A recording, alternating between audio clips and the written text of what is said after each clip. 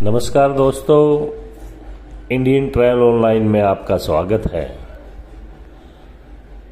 अगर आपके पास यात्रा के दौरान ट्रेन का टिकट नहीं है तो फिर आपको ये सफ़र काफ़ी मुश्किल भरा होने वाला है।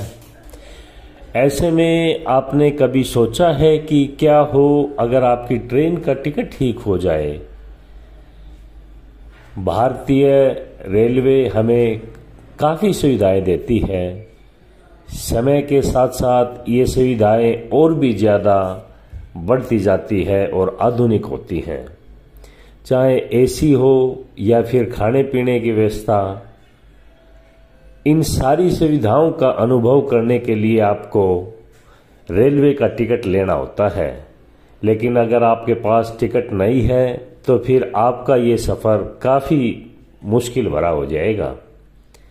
ऐसे में कभी आपने सोचा है कि अगर आप बिना टिकट के जा रहे हैं ट्रेन के अंदर, या आपका ट्रेन का टिकट खो जाता है, ऐसी स्थिति में आप क्या करेंगे?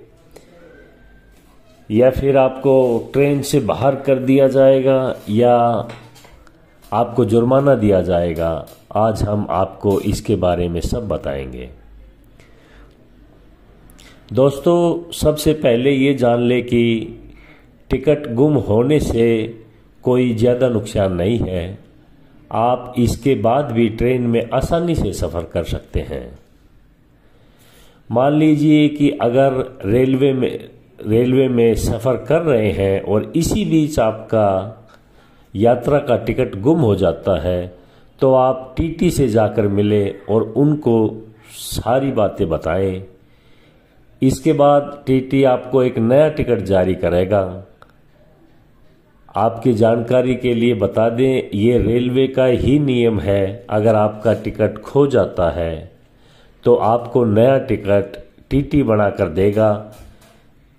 इसके लिए आपको रेलवे को पचास रुपये जुर्माना साथ में देना होगा। बता दें कि अगर आप बिना टिकट सफ़र करने की कोशिश करेंगे तो आपको पचास रुपये नहीं, बल्कि रेलवे के नियम के हिसाब से दस गुना जुर्माना देना पड़ेगा। इसलिए अच्छा यही रहेगा, अगर आप यात्रा के दौरान आपका टिकट खो जाता है तो आप इसकी सूचना फ़ौरन टीटी को दें और उसे टिकट गुम होने की जानकारी दें ताकि टीटी आपको नया टिकट बनाकर दें। और आगे का सफ़र में आपको कोई परेशानी नहीं हो।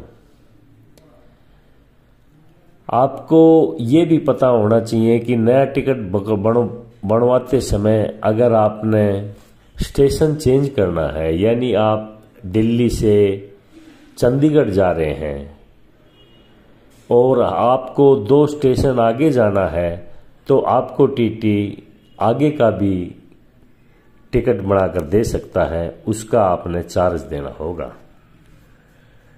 अगर आपको ये इन्फॉर्मेशन अच्छा लगा तो इसे शेयर और लाइक ज़रूर करें। नमस्कार।